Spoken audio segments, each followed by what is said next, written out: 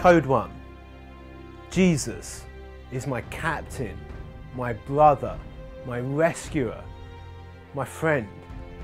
When I met Jesus at the age of 18, it was a shattering experience to think that the man that died for me paid an incredible price, taken a hit for me, even though I'd spent years ignoring him.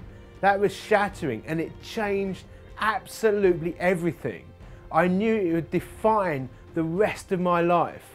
From having all my plans and all my schemes and everything that I wanted to do, suddenly I realised he was king, he was premier, he was number one. My life would be defined by who he is and what he has done and is doing for me. From then on, that was it.